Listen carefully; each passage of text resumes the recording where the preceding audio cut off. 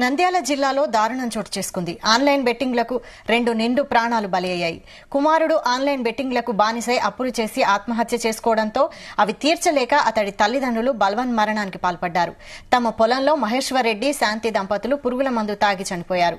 వెలుగోడు మండలం అబ్దుల్లాపూర్లో ఈ ఘటన చోటు చేసుకుంది.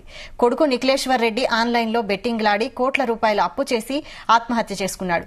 కొడుకు చేసిన అప్పును కట్టడానికి మహేశ్వర్ రెడ్డి తనకున్న ఎనిమిది ఎకరాల్లో ఐదు ఎకరాలు భూమిని అమ్మి రెండు కోట్ల మేర అప్పు తీర్చాడు. అయినా పూర్తి స్థాయిలో అప్పు తీరలేదు.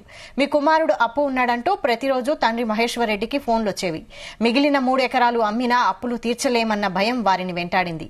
ఈ నేపథ్యంలో మహేశ్వర్ రెడ్డి ప్రశాంతి దంపతులు తమ పొలంలోకి వెళ్ళి పురుగుల మందు తాగి ఆత్మహత్యకు పాల్పడ్డారు.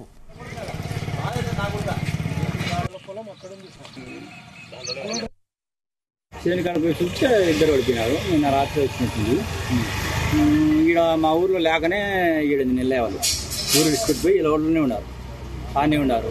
వాళ్ళకే సంబంధం మనకైతే ఏం మ్యాటర్ గురించి ఏం తెలియదు అంటే అప్పుల బాగుతుంది అంటే అది మామూలుగా అయితే ఉన్నాడు అప్పు. దాని గురించి చచ్చిపోయినాడని తెలియదు ఏం తెలియదు. మేము. మాట్లాడకూడదు ఇరవై ఏళ్ళే. నేను మా ఆయన కూడా. పలకరించి మాట్లాడతాం. అటువంటిది ఏం లేదనుకున్నాం. మాట్లాడేది గిట్టాడేది ఏం లేదు. అంటే ఎంత ఉండొచ్చు అన్న అట్లా అందాక అప్పు ఎలుగోడికి తెలియదన్న మనకు. ఎలుగోడులు ఉన్నాడు కర్నూలులోకి ఉన్నారు నంద్యాలకు ఉన్నారు మనకైతే తెలియదు చేను కనుక చూస్తే ఇద్దరు పడిపోయినారు. నిన్న రాత్రి వచ్చినట్టుంది. ఈడ మా ఊర్లో లేకనే ఈడ నిల్లేవాళ్ళు ఊరు ఇలా ఊళ్ళోనే ఉన్నారు. ఆనే ఉన్నారు. వాళ్ళకే సంబంధం మనకైతే ఏం మ్యాటర్ గురించి ఏం తెలియదు అంటే అప్పుల బాగుతుంది అంటే అది మామూలుగా అయితే ఉన్నాడు అప్పు. దాని గురించి చచ్చిపోయినాడని తెలియదు ఏం తెలియదు.